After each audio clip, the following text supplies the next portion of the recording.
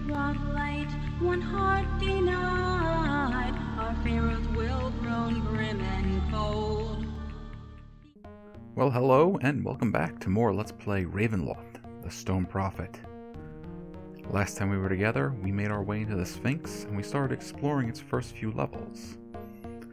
We've come across a magical item called the Thought Bottle, which I think is in here. And somewhere, somewhere down here, is a magic mouth that will tell us the magic word necessary to open the Thought Bottle. We also picked up a new party member, Thes Sethithra, who is a Jackalwere. He's going to hang out with us for a little bit. We also found a key that can open red doors, which I think is that one and that one. So let's go check them out.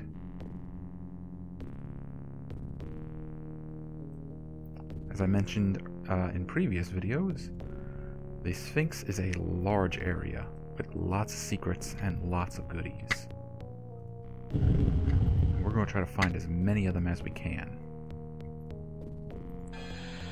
Alright, now, here's the thing. If we click on the staff like I just did, we use one of its charges. So if we want to attack with it like a normal weapon, we have to click on the enemies.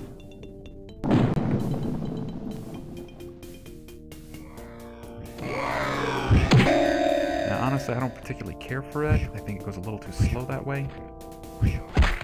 But if the staff runs out of charges, the staff is destroyed. Is a darn shame because the staff is really good. It's a plus 3 weapon in its own right, which makes it one of the stronger weapons we're going to find in the game. I mean, even our Warhammer is plus 2. Our Paladin Sword is plus 3. Although our two-handed sword is also plus 3. Every character can use the staff. There's another reason I like it. The map to the buried temple of Ra. Alright, now, I actually went by this temple earlier in the game because I want to pick up the teleporter, but here's how we find the way there. In the desert, we find the the statues of the hands reaching up into the sky, and we walk south to the first rock, east to the next, and then south until we fall into it. Now, since we've been there and we have the teleporter, we don't need that map, so we're going to leave it here.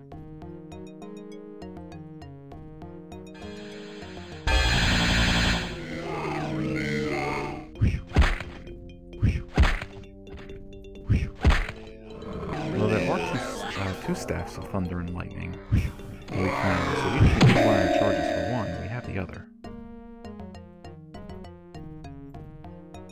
The gateway to the Temple of Ra. Didn't we just look at that? No. He killed many priests, making them into his undead slaves. Yes, it is Ankhtepot of whom I speak. Such treachery. And from one favored by Ra. His fear of death drove him to turn against all those who had served him. As priests of Ra, they could not let su such madness go unanswered. There stepped from among us one to put Ankhtepot in his tomb. In the darkness of Pharaoh's rest, he sent our traitor king. And the gateway linking Pharaoh's rest and the temple of Ra was disabled. The seals which must be set in place in both locations were taken down and shattered. The pieces we scattered about, in joy, we watched as the link between the entombed pharaoh and Ra was destroyed. Well, that's actually what we're trying to do right now, is to find all those pieces so we can link the two places together again.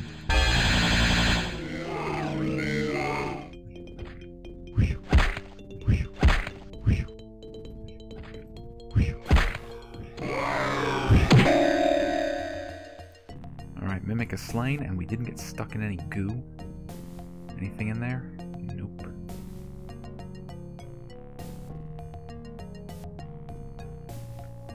So there was another door, which we needed a red key to open. Let's see if we can find it. Is it over this way? No, it's over there. But you know what? Let's check up down that way since we're here anyways.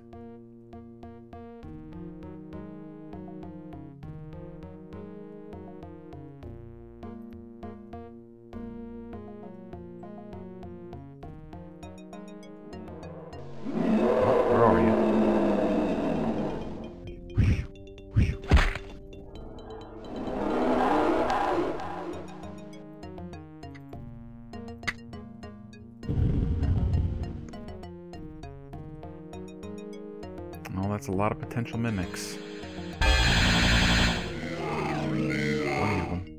Let's use some of our spells. The lightning bolt will do the trick.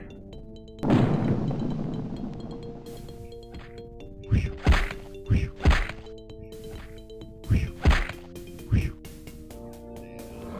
did switch up our spells again. So, Beatrice at any rate has some new ones to play around with.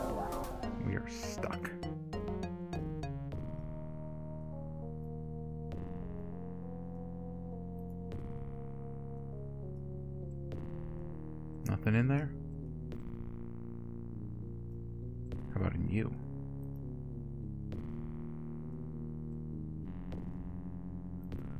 Well, if nothing else, we get a couple potions of healing out of the deal.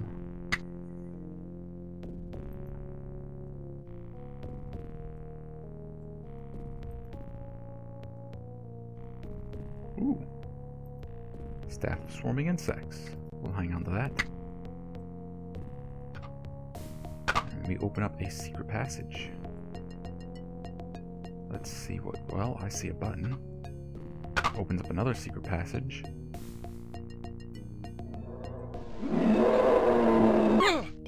Got pushed away.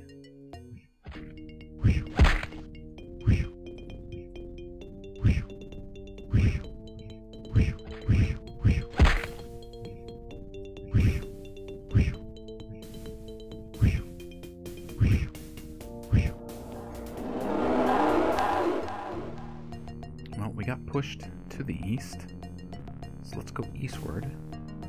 Around.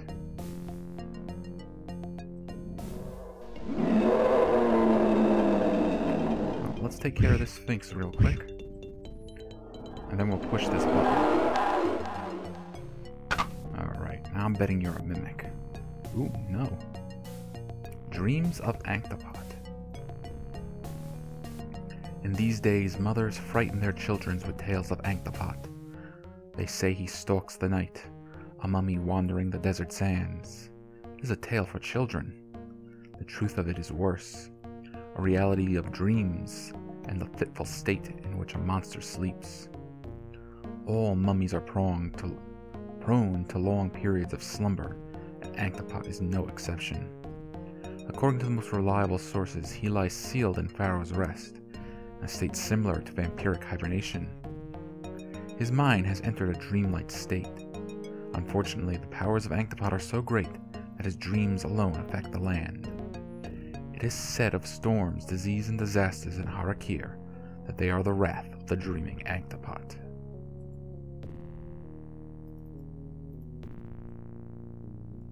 So, could that horrible disease be a result of dreaming Ankhtepot?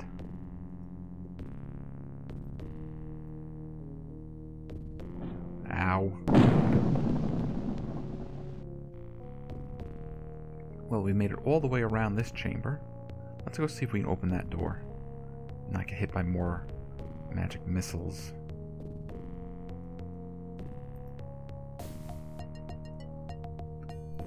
Oh, we got water. Drink up.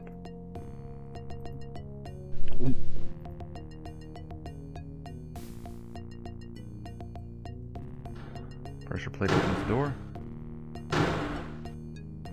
Pressure plate closes the door.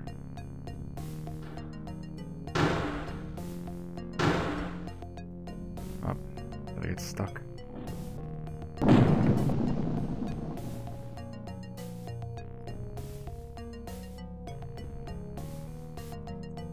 Well, it was only a brief period of being stuck.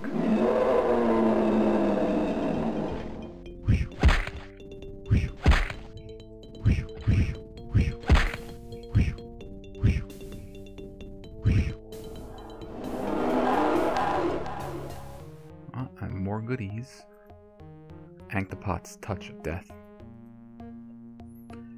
I am much worried over the health of my lord Ankhtepot. Each breath comes as a distraction, as though he fears it might be his last. His search to extend his life consumes him. The palace has become silent, and within its walls we walk about as in a tomb. The music once played is gone. It is said the priests of Ra no longer trust my lord. Worse, a series of deaths has begun among them. How can they blame my dear lord, my suffering lord? They call it Ankhtepot's touch of death. Were it in my powers, I would punish them for such insolence. Were it in my powers, I would heal my lord Ankhtepot of all misery. Well, mummies do have a touch of death, although it doesn't exactly instantly kill. It diseases the person they touch, and it slowly kills them, usually turning them into a mummy. But Ankhtepot's was even worse. Ankhtepot, before he became a mummy, mummy, was cursed, so that while the sun was out, his touch would do no harm. But when the sun set and he was no longer under Ra's light, his touch became deadly, and he ended up killing his wife and many other people as a result. Now, page 3 of the Guide to the Ancient Dead. Senemet is a mummy whose powers are limited, that is to say, not of the fourth or fifth ranks of invulnerability. Indeed, some actions may succeed in his destruction. Yet even when victory seems imminent, care must be taken. The blows of magical weapons are not enough. Seeing the beast fall before you is not enough. Soon the defeated hulk of bone and tattered cloth will rise. It shall seek you out. Yet in my Har'Akir studies, I have come across special mention, now and again, of a spell known as the Spell of Retirement. Only the most powerful priests have ever produced such a marvel. It is my belief that if such a scroll were to be read over the remains of Semet before he could be once again before he could once again arise, then the beast would be permanently destroyed.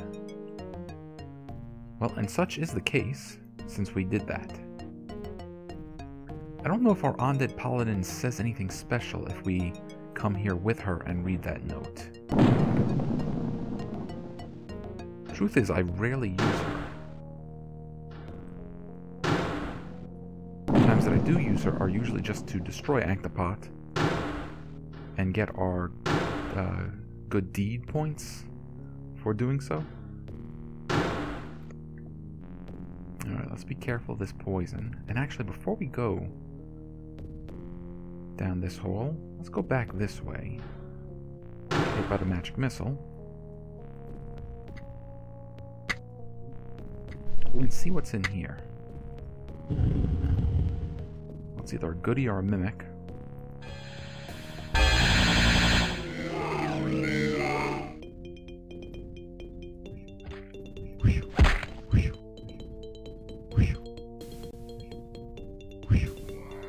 should say a little prayer. Buff, our, buff ourselves up a little bit. The blue key. No, it doesn't look like there was anything in there. Well, probably a good thing that we grabbed that blue key then.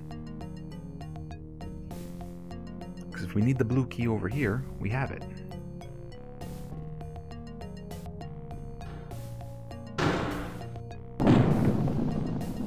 Now, thankfully, magic missiles don't hurt as much as fireballs.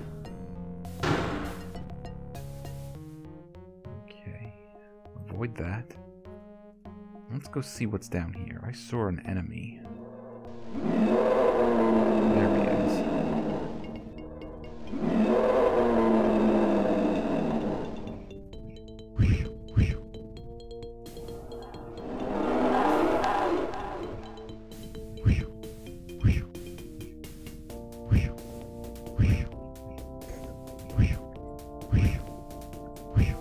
die, you horrible chicken.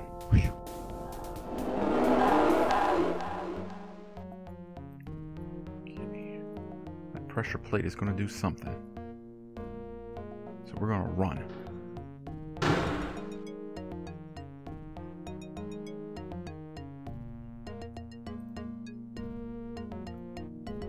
And the Tears of Ra.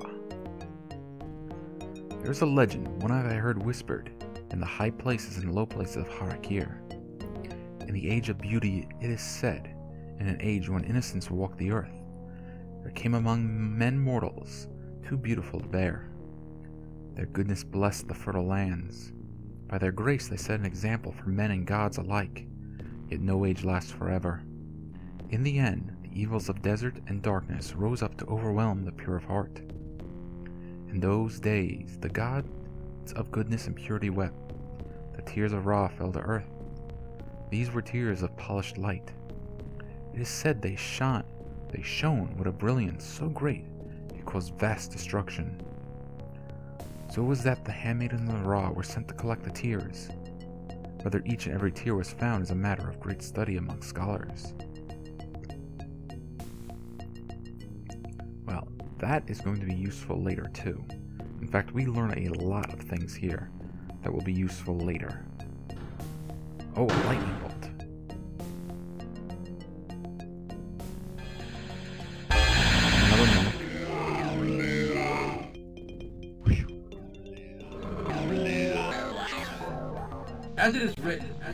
Been foretold, I hold a secret. A word of command is mine to tell. Listen, for the history of Ankhtepot belongs to he who speaks the name Hierophant. Well, if we have the magic word, let's see if it works.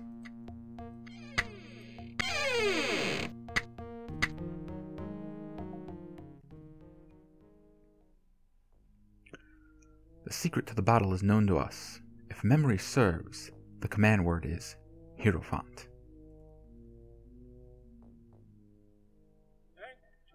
Ankhtepot. One jewel this pharaoh sought, one prize, immortality. The priests of Ra gathered, opposing Ankhtepot. One by one they fell victim to Ankhtepot's touch of death. The Hierophant, a great priest of Ra, determined to end the threat. In stealth, the Hierophant moved against the ruler of the land. Ankhtepot, deep in dreams of immortality, heard nothing. In the fall of a shadow, the history of the land changed forever. The priests of Ra laid Ankhtepot to his rest. The threat to the priests of Ra seemed over, the Hierophant's battle won. Not so. The enmity between priest and pharaoh had just begun.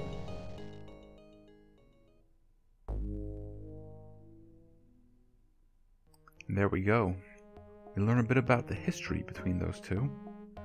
It would seem that the Hierophant was responsible for the murder of Ankhtepot. That's why he hates him so much.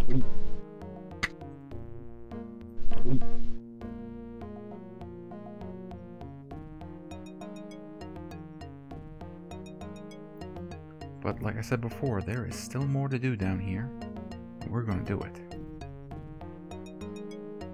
Most importantly, we gotta find one of those seal quarters. Every dungeon has at least one. I shouldn't say at least one, they all have one.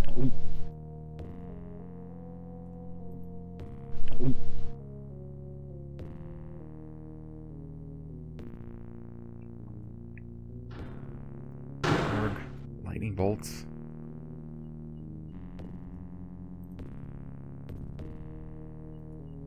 You go, Jackal, drink up.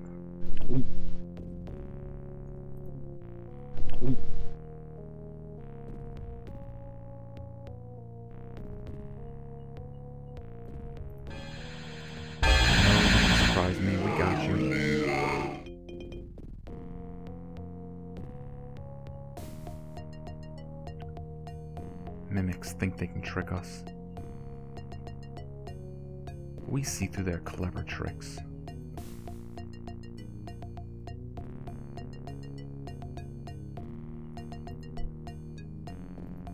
Ooh, a Wand of Frost.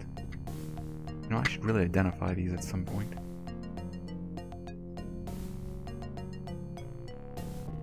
Should have done it uh, last video. Before I saved and memorized new spells.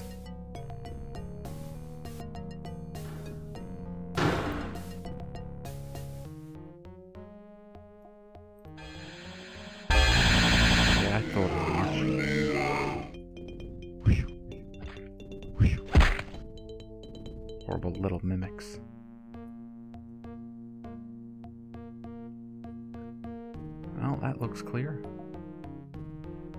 Careful that there's not any buttons to press. And what do you know, we did need that blue key.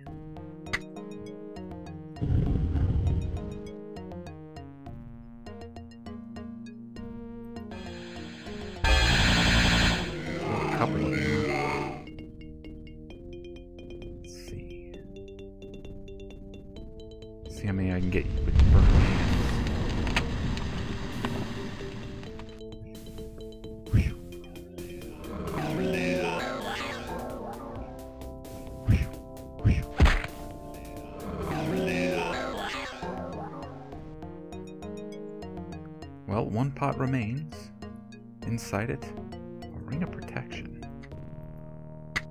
Well, we already know rings of protection are magical. But how magical is the question? Alright, so now back over here where the other blue door is.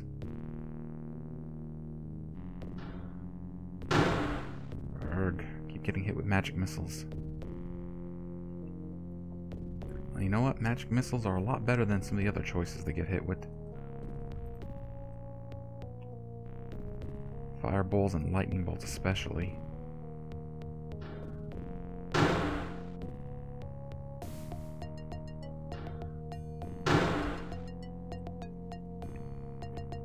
No, we need to go up over that way. Alright, stepping mode, work your magic.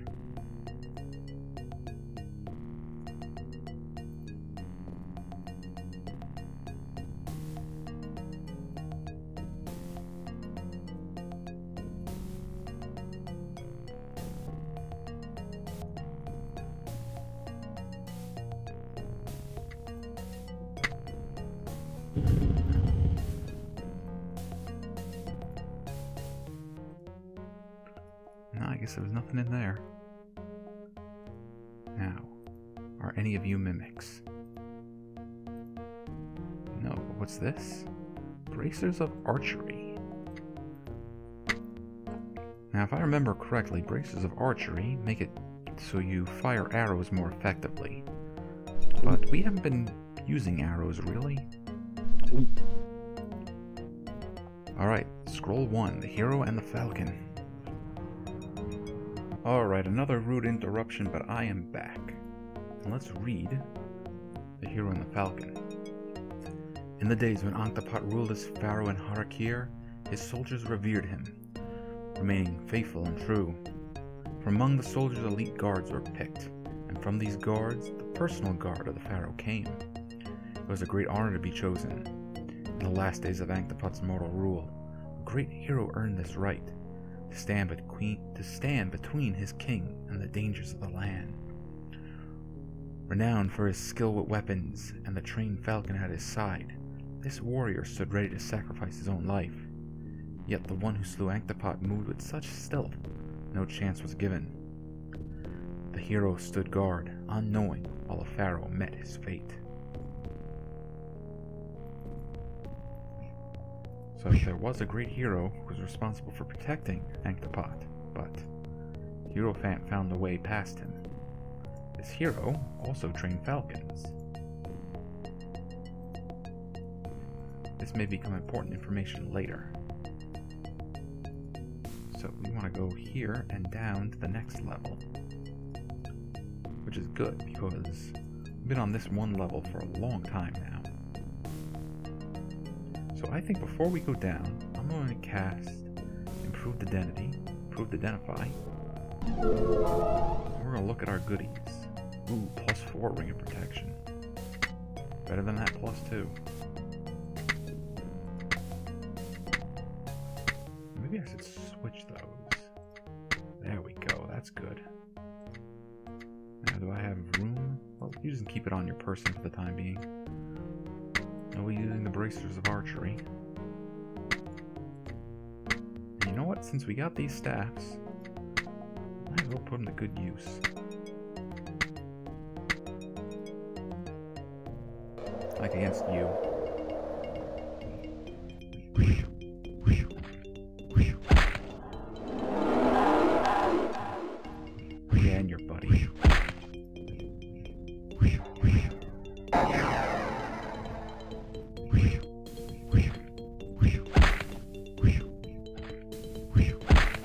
Tough one. Alright, so through the illusionary wall and down to the next level. Hmm. If there is a way to communicate with this presence, then we have not yet found it.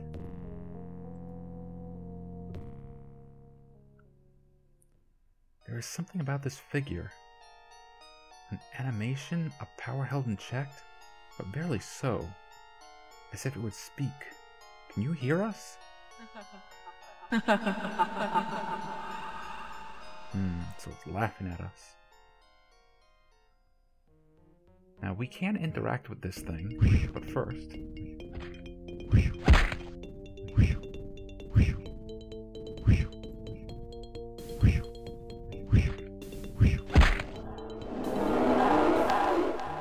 We can interact with this thing. I'm thinking, should I do it now or save it later?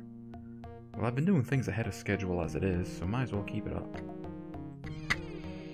We hand this thing the wishing cup. Now, I think we have to have it in our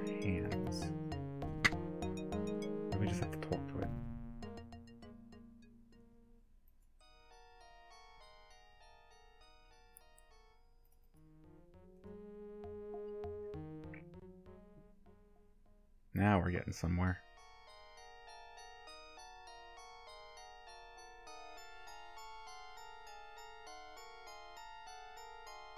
There.